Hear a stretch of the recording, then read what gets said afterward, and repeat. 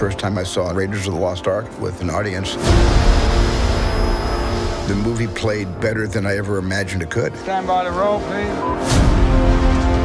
It was entertaining, fun, and incredibly inspiring. It was a very exciting story to tell.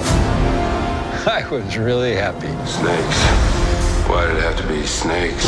I remember exactly the cinema name and the afternoon that I went to see the first Indiana Jones. I just remember it always being on, just awe and excitement and danger. This is the franchise that I grew up watching. Indiana Jones movies would not exist in people's hearts and imaginations without Harrison Ford. Nobody can play Indiana Jones but him. What do you think you're doing there? Get down!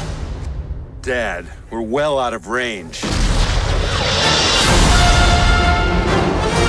We talk about what is quintessentially Indy. It's a combination of feeling like it's grounded in something historical, but then the adventures sit right on the edge of the supernatural. And I'm delighted that there still is an interest in the character and the kinds of stories that we tell.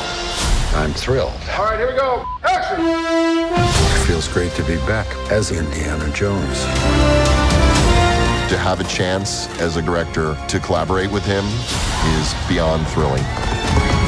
He's about to stumble into his last great adventure. I've been looking for this all my life. It takes you right back to what it is that makes the Indy series so unique and so much fun.